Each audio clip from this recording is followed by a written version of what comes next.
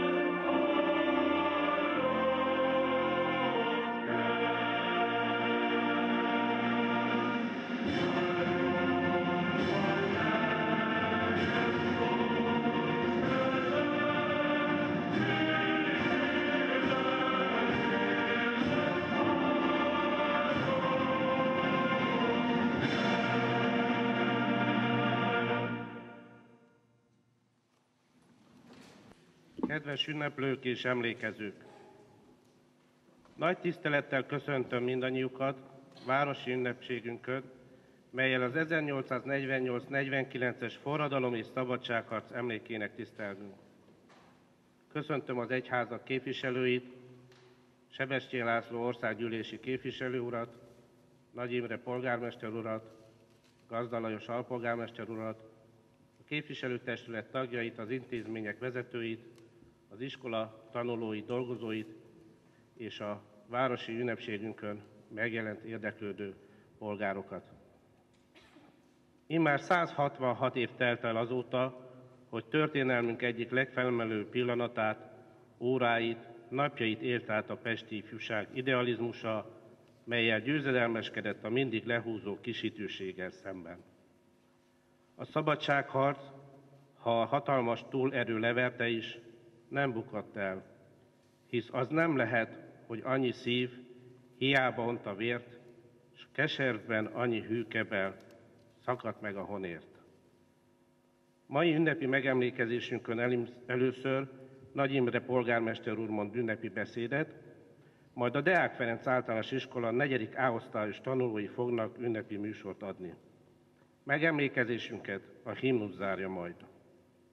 A műsort összeállították Dányádi Béláné és Mészárosné Tűr Katalin, valamint köszönjük Juhász Viktóriának, a Diamond Dance tánciskola tanárának a koreográfiát, Szopkó István tanár úrnak a hangosítást. Valamint segítségünkre voltak Király Jánosné, Doroszlai Otto, Kummer Zoltánné, Szabó Gáborné és a negyedik A-osztály szülői munkaközösségének tagjai. Megkérem polgármester urat, tartsa meg ünnepi beszédét. Tisztelt ünneplő közönség! A tavasz nem csak a természet megújhodásának, hanem a magyar történelem évszázadait nagyjá nemesítő forradalmi küzdelmeknek is az időszaka. Az 1848-49-es forradalom és szabadságharc több mint másfél évszázad elteltével is velünk és bennünk él. Van egy minden magyart megérintő, mindenkire ható vonzereje. Valószínűleg azért, mert kezdettől fogva a vég kifejlett állapotáig győztes ütközeteivel és vesztes csatáival, emberi konfliktusaival és kiemelkedő egyéniségeivel Európában, Európának ebben a térségében még akkor is sajátosan magyar volt, ha sok nemzetiségű résztvevőt igényelt, nagyon sok a nemzetiséget, kisebbséget érintett. Magyar volt a lelkesültségében és a kiábrándultságában, hitében és csalatkozásában, túlélőiben és hősi halottaiban, bújdosva szenvedőiben és a tovább folytatás reményét vállalva a maradókban. Ha megvizsgáljuk az 1848-49-es szabadságharc történelmi előzményeit, be kell, hogy lássuk, hogy egy forradalmi változásokra kész ország állt a történelem színpadán. A reformkorban a gazdasági fellendülés az óriási építkezésekkel, például az Eszterházi kastély, a Nemzeti Színház, a Nemzeti Múzeum országos fejlődés közepette az emberek cselekedeteit egyre inkább a nemzeti érzés mozgatta. A nemzeti egység megteremtésében óriási szerep jutott a kultúrának is. A szellemi élet szinte percről percre követte a politikai eseményeket.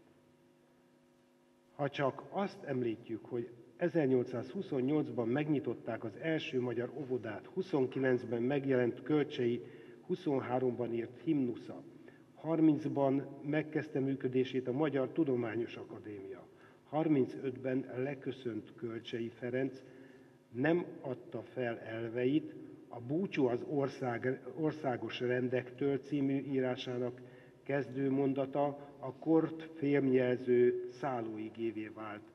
Jelszavaink valának, haza és haladás.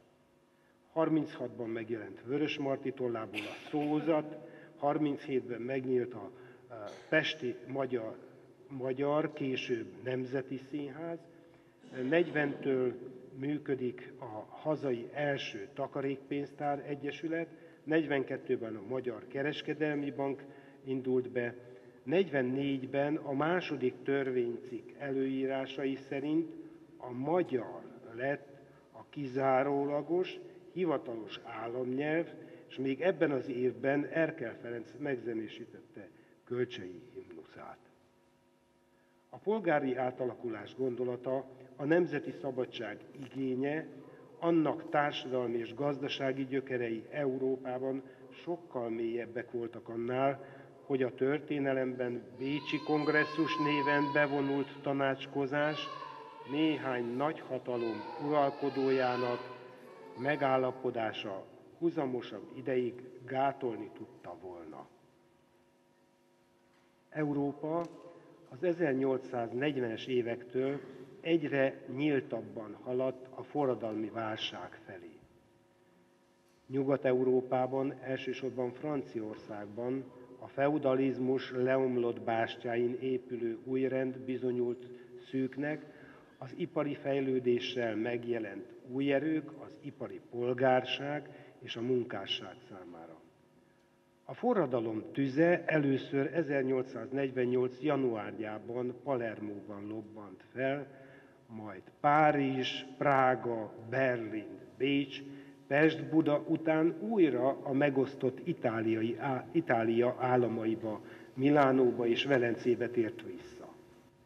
A forradalom hullámai elérték, sőt el is borították a Habsburg birodalmat, a több mint 20 millió lélekszámú monarchiát, melynek területén közel 20 féle nép és etnikum élt. A birodalom sokszínűsége volta, népeinek egymástól eltérő társadalmi-gazdasági fejlettségi szintje, a fejlődés sajátosságai nem csak a nyugat-európai nemzetektől különböztették meg a monarchia népeit, de jelentős mértékben egymástól is. Mindez pedig a társadalmi haladásért és a nemzeti függetlenségért, függetlenség kivívásáért folytatott küzdelemnek is sajátos, speciális vonásokat kölcsönzött. Magyarországon 1848. március 15-én egy nemzet mozdult meg a zsarnokság, az elmaradottság ellen. Példaként kell, hogy álljon a történelem folyamán, mert erőt és biztatást adhat bár, bármilyen korban azoknak, akik egy új, fejlette világ létrehozásáért küzdenek. Senki sem feledi Petőfi Sándort, Jókait, Kosutot, Táncsicsot, a lelkes márciusi ifjakat, és azt a történelmi eseményt, amely rész, részleteinek bemutatására a Deák Ferenc általános iskola negyedik osztályos tanulói vállalkoztak dicséretes felbuzdulással. Előadásukból érzékelhetjük majd, hogy 1848. március 15-én egy emberként állt a forradalom eszméi mellé a magyar nép, elszántságával megfélemlítve a hatalom hazai és bécsi képviselőit. A kezdés jól idézőtött volt, de a folytatás sem maradhatott el. Politikai sikerek következtek, haladó eszméket tartalmazó törvényeket fogalmaztak, vagy fogadtak el, és az e- eredmények értékét növelte, hogy ezeket békés úton érték el. Az új helyzetben az új kormány azon munkálkodott, hogy a rend helyreálljon, a szociális követelések kielégítést nyerjenek, ugyanakkor a szerb, a román és a szlovák politikusok is megfogalmazták a Batyányi kormány számára saját nemzeti és szociális követeléseiket is. Általában politikai nemzetként való elismerésüket kívánták, összekötve azt bizonyos nyelvi és egyházi autonómiával, kisebb-nagyobb társadalmi reformot kényével, melyet az akkori helyzetben a korainak tartott a kormányzás. A nemesség legjobbjai Kossuth vezetésével képesek voltak revidiálni a társadalmi és nemzetiségi kérdésekben elfoglalt, álláspontot, és 1849.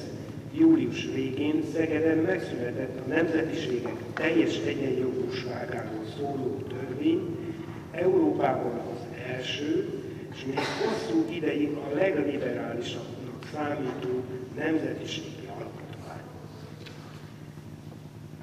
Egy évig tartó testvérharc után az egymásra találás bekövetkezett, ám azok a külső és belső feltételek, amelyek 48 tavaszán fennálltak, a forradalmi erő számára akkor már eltűntek. A magyar forradalom elleni akadamunka megindítására már az udvar éppen a nemzetiségi mozgalmat használta. Már 1848 nyarán megindultak a Bécsi Hadügyminisztérium titkos pénz, fegyver és hadianyag küldeményei Magyarország elleni invázióra készülő Jelasics, majd a szerb felkelő Magyarország visszaszerzésére tett első kísérletek nem zárultak sikerrel, de ebből következett, hogy, a B, hogy Bécs nem törődik bele az új számára kedvezőtlen helyzetbe. A császár az orosz cár segítségével verte a szabadságharcot.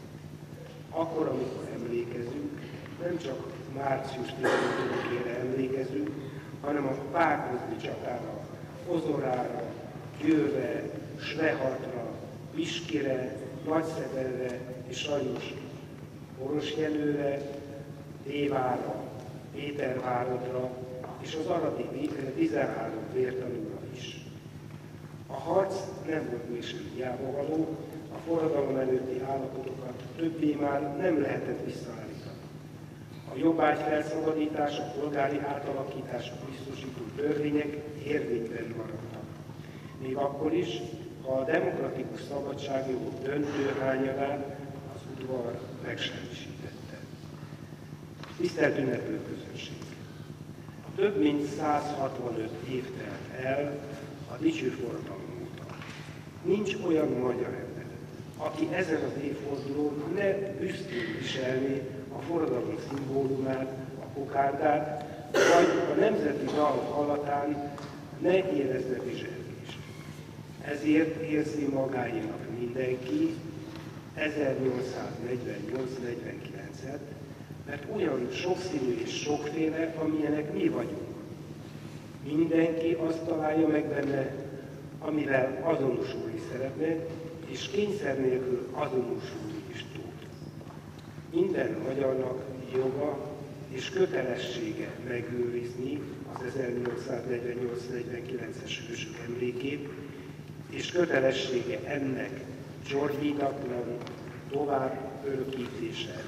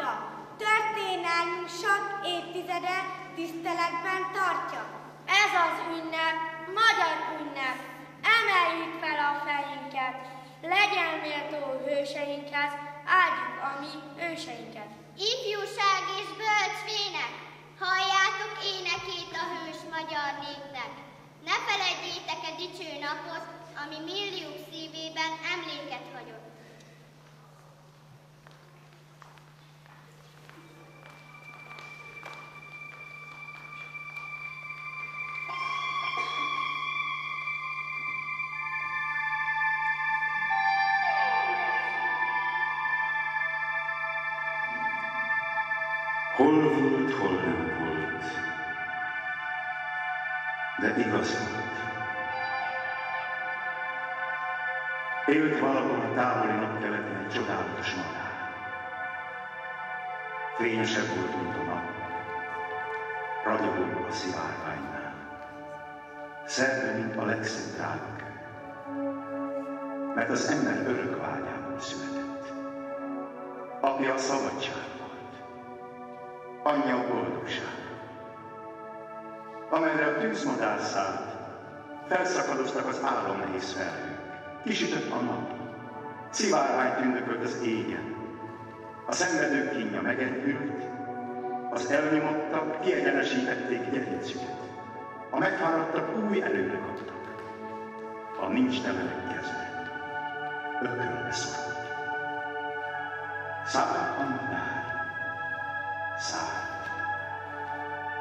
Napkeletről, napnyugatra.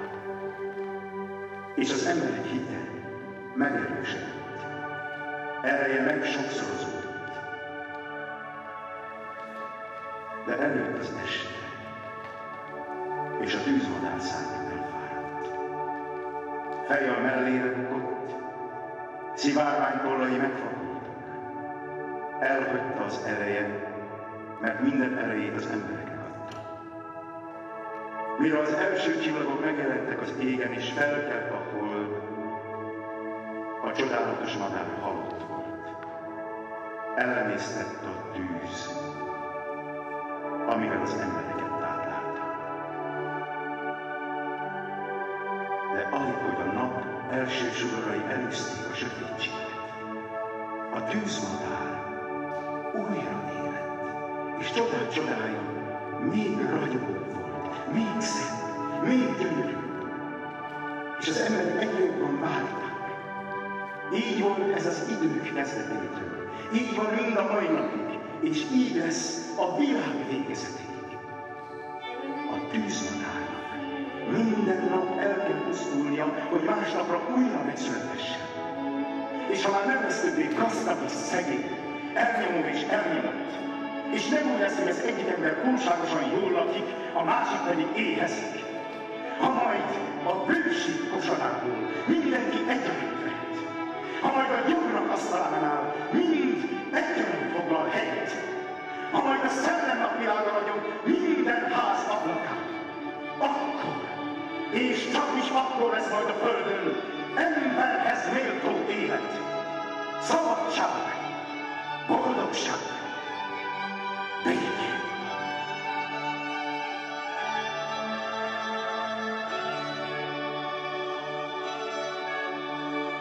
De a tűzoltár akkor is itt számít akkor is minden nap elpusztul, hogy holnap még gyönyörűbben újjá